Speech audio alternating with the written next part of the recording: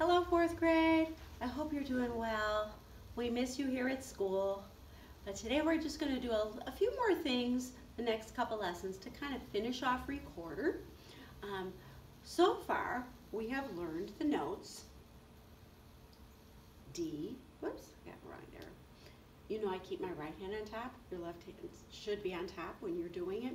So we learn D, C, B, A, G, F.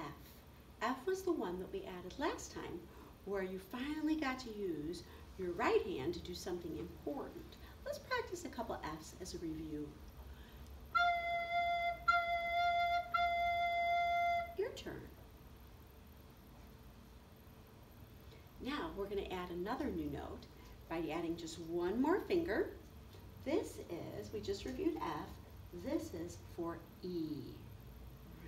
I always say E is like 3 plus 2 equals 5 because your five fingers on top and your thumb hole is still covered. As a review, let's try moving our fingers starting with E and then playing all the other notes we know. We're not blowing. E, F, G, A, B, C. Now we're going to play them out loud. All right, so you've got 3 plus 2 equals 5. Here we go.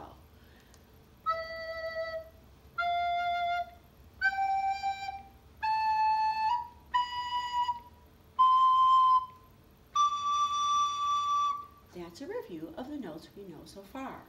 Now I'm going to do just a short, easy thing with you today to start getting used to E. So let's put our fingers back.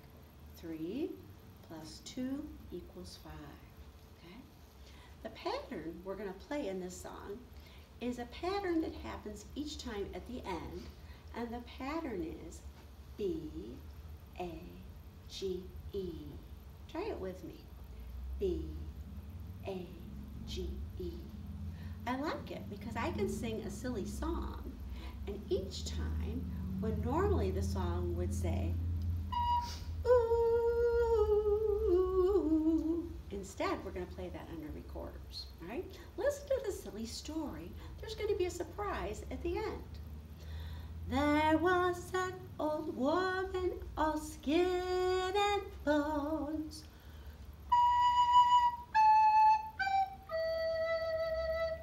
She lived down by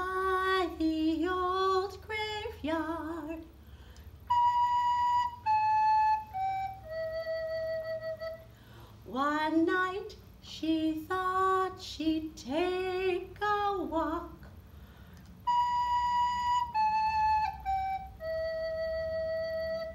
She walked down by the old graveyard.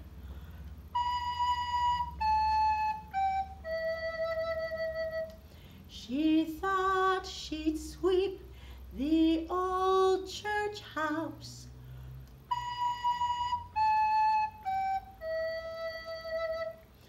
She went to the closet to get her a broom.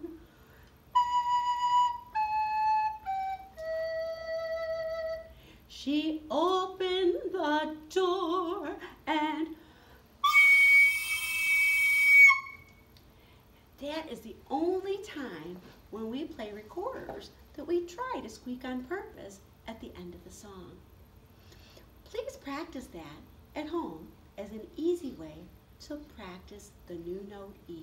Have a great week. Bye-bye.